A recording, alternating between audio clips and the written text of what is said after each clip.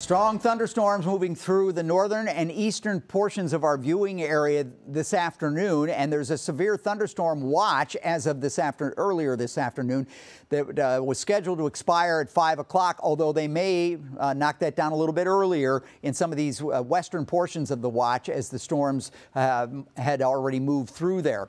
The severe risk is significant as you move from the southwestern part of our viewing area. It's a low level one and rarely see this moderate risk in our area, but this is a moderate risk, especially for the northeastern corner of the viewing area where we saw those storms.